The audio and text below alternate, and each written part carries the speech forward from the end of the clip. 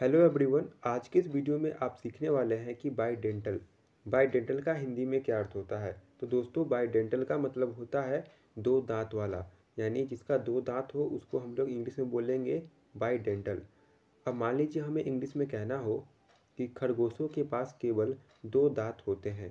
खरगोशों के पास केवल दो दांत होते हैं। तो हम कहेंगे कि rabbits have only bidental rabbits have only bidental, यानी कि जो खरगोश होते हैं, उनके पास केवल दो दांत होते हैं, यानी वे क्या है? बाई डेंटल है, यानी दो दांत वाले। तो दोस्तों, मैं उम्मीद करता हूँ कि आप बाई डेंटल का हिंदी मीनिंग बड़े आसानी से समझ गए होंगे।